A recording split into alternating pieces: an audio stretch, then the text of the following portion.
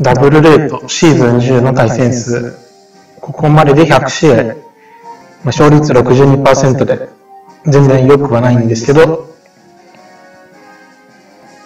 まあ、新しくダブルバトル始める方とか、経験者の方でも、最近時間取れなくてダブルバトルやれてないよって方の、まあ、現環境についての理解を深めるための動画ができればいいなと思って、毎日対戦してます。対戦相手を探しています。しばらくお待ちください。パーティー少しだけ変更したのはガルーラの技、冷凍パンチを守りに変更しました。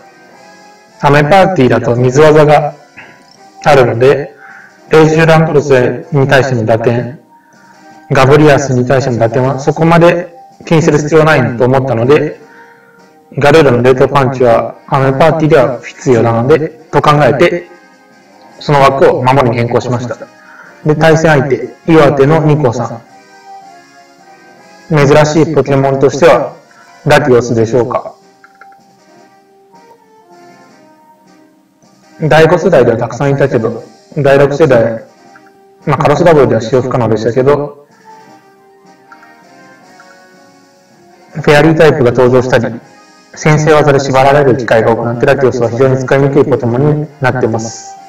久しぶりに見ました。で、今回相手の構築が、ガルーラ、パイアロ、ウォッシュロトム、モロバレル、ラティオス、ヒードラ。目が進化する可能性あるのがラティオスとガルーラ。負けんち、勝ちに特性はいないから、えー、ランドロスを出しやすい。スザーサ操作の技は、まあおそらくないでしょう。追い風ある、追い風がラティオス、ファイアルになるかどうかで、その、電磁波とか凍える風はなさそうかな。ラテトリックルもないでしょう。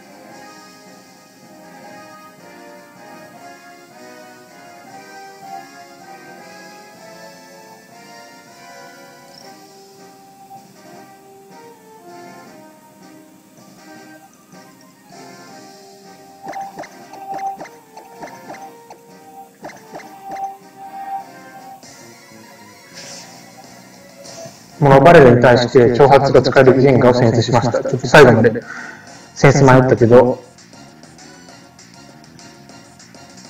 相手の選出はガルーラだと思う。こっちの選出はランドルス原画。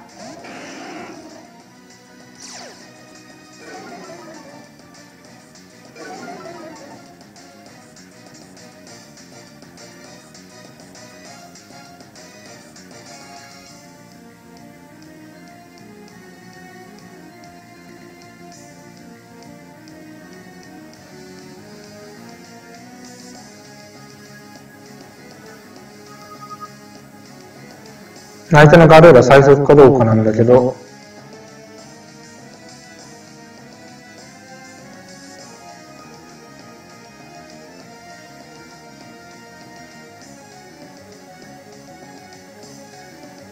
この段階ではまだわかんない。モロバレルからいるから最速かもしれない。そしたらサザンドラで、迅速サザンドラで抜けない可能性が結構あるんだけど、そっちか。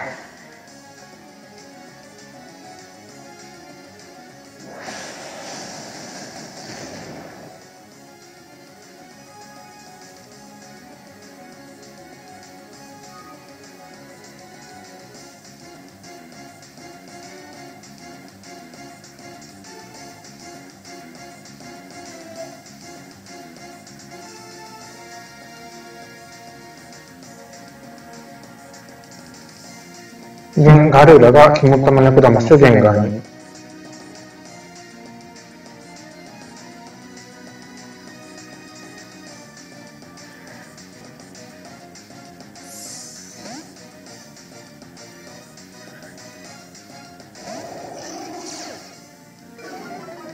ガルーラとサザンダルどっちが翼速いかなんだけど、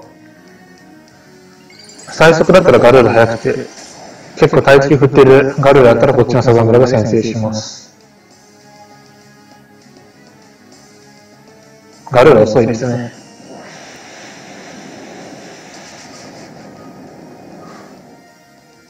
メガネ流星群でロトンも倒しました。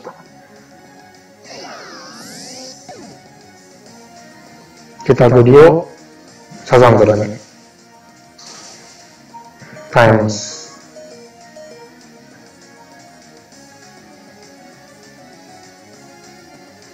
Latios.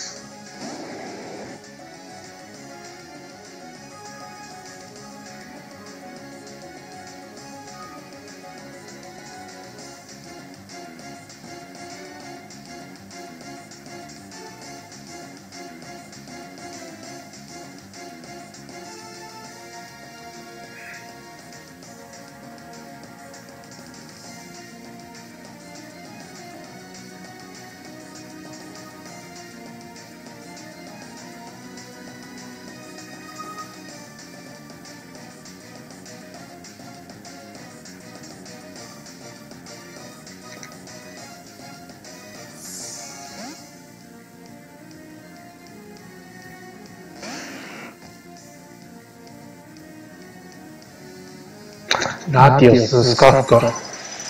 なるほど。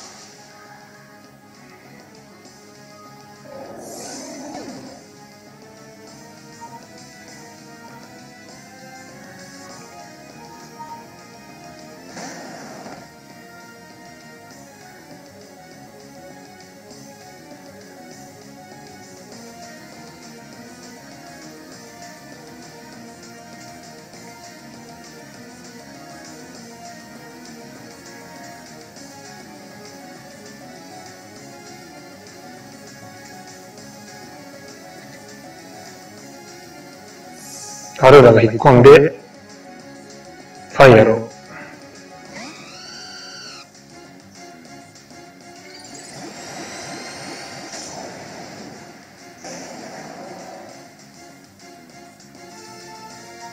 冷凍ビームがガルーラにロバレルクル闇に挑発したけど交代しませんでした。ファイアルを恩返しで倒します。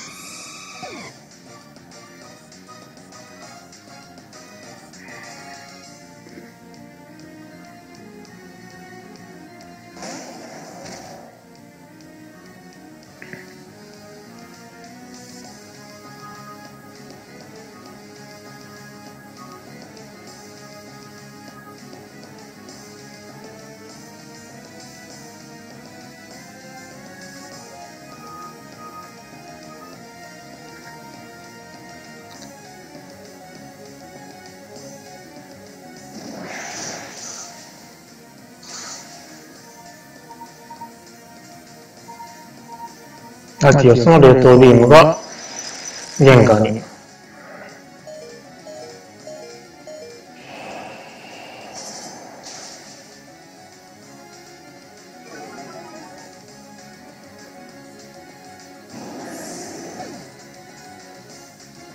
北栗がガルーに。これ死ぬか。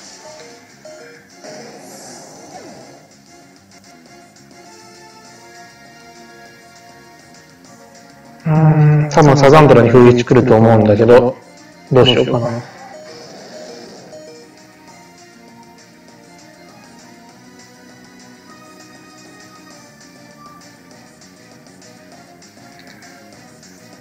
H、うん、サザンドル倒しに来たから、ヘドロバクラの6、7なきゃ負けですね、これは。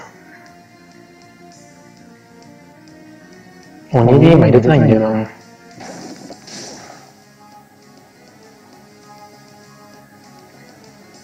ダメだな。